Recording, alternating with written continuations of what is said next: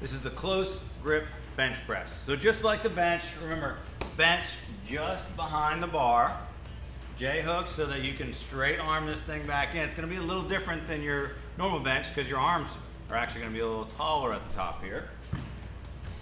Grip, no more than 14 inches apart, so just right where the knurling mark is. Feet are driving down into the floor, glutes tight, belly tight. Control and press.